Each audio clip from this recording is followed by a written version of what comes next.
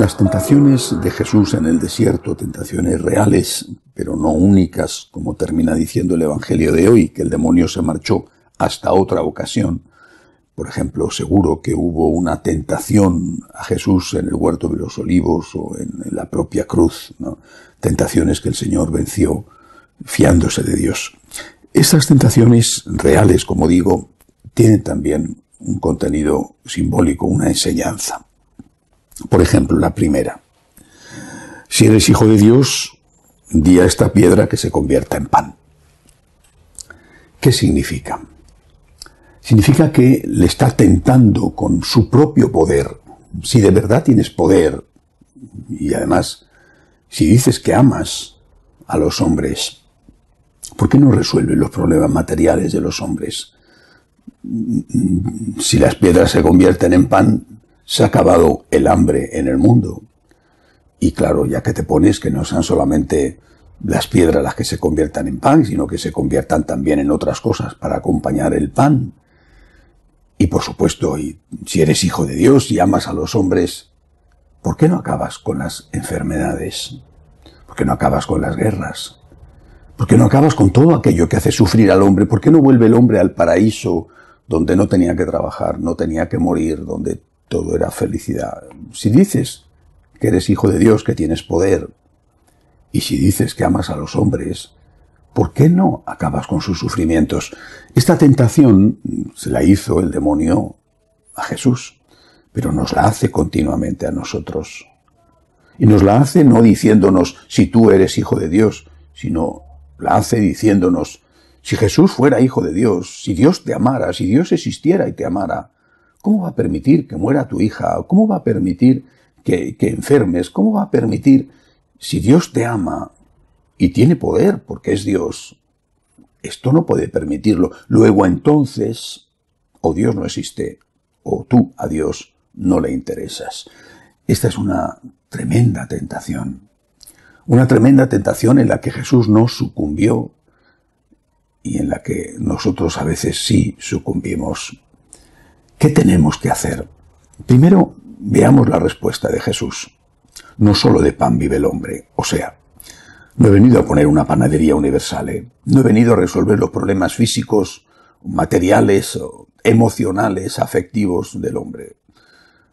Eso no es la tarea que yo he traído. He venido a salvar al hombre de sus pecados, intentando que se conduzcan por el camino del bien, porque son sus pecados la fuente de la mayoría de sus propios sufrimientos o de los sufrimientos que generan, que dan, hacen a los demás, y he venido para, perdonándole sus pecados, darles la vida eterna, porque esa vida eterna es mucho más larga que esta.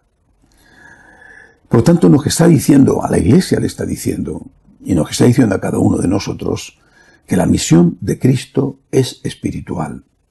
Eso no significa que no tenga que dar de comer. Lo hizo, por ejemplo, la multiplicación de los panes y los peces, y nos advirtió que el juicio final va a ser también sobre las cosas materiales que hayamos hecho o no hecho. Pero no ha venido para eso. La Iglesia no puede convertirse en una ONG porque Cristo no quiso eso. Si lo hubiera querido, hubiera transformado las piedras en pan y nos hubiera enseñado alguna fórmula mágica para transformar eh, las piedras en pan o en oro con el cual poder comprar cualquier cosa ha venido para una misión espiritual que salve nuestras almas y que sea, como Él fue, el Cordero de Dios que quita el pecado del mundo. Porque el pecado, repito, es la raíz y la causa de todos, absolutamente todos los males, teniendo en cuenta el pecado original. Ahora, de cara a nosotros, también vale la lección. Tú le estás diciendo a Dios que te resuelva tus problemas y que si no te los resuelve, te alejas de Dios. Pero ¿en qué tipo de Dios crees tú? ¿Crees en el Dios que es el Señor Todopoderoso o crees en el Dios que es tu esclavo? Ni siquiera tu siervo, tu sirviente, tu criado, tu empleado, no, no, tu esclavo, tu esclavo al cual das órdenes y que está para tu servicio, para tu contento, para proporcionarte hasta el cumplimiento de los últimos caprichos. Pero, perdona, pero ese Dios no existe. Si existe Dios, y existe es más grande que tú, más infinito que tú, que eres una pequeña parte del mundo y además, desde luego, criatura de Dios finita llamada a morir. Existe Dios, es el Todopoderoso y por tanto tienes que aceptar el misterio. Si no aceptas el misterio es que no tienes fe y si tienes fe en que Dios existe, es el Todopoderoso, eso lleva consigo la aceptación del misterio. Y aceptar el misterio de Dios significa aceptar que no puedes entender del todo a Dios. ¿Por qué no te haces preguntas del por qué Dios actúa de una manera o de otra cuando las cosas te van bien? Y en cambio te hace esas mismas preguntas cuando las cosas te van mal. Si Dios está actuando cuando las cosas te van bien, pues entonces es el mismo Dios el que estará actuando, permitiéndolo cuando las cosas te van mal. Yo creo que este es el punto de partida de una auténtica fe en Dios.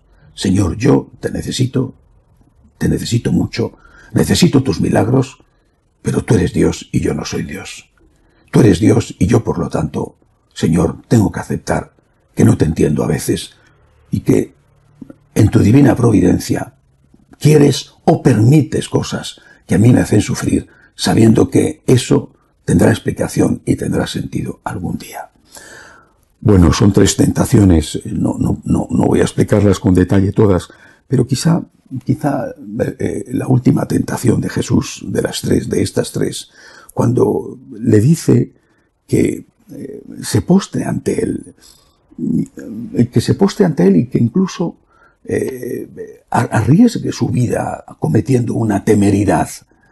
El Señor le contesta y le dice, no tentarás al Señor tu Dios. Es decir, ¿cuántas veces nosotros también decimos, eh, como me fío de Dios, hago determinadas cosas sin pensar. Eh, el uso de la razón forma parte de lo que Dios quiere que tengamos. Yo estoy tentando a Dios cuando hago cosas sin pensar. Después hay cosas bien pensadas y pensadas no solamente durante tiempo, sino y con prudencia, sino eh, pensándolo desde el punto de vista de Dios, y que luego salen mal, porque no, todo depende de nosotros. Pero eh, ¿alguien se puede imaginar echarle la culpa a Dios porque has cruzado un semáforo en rojo sin mirar si venían o no venían coches y resulta que atropellado?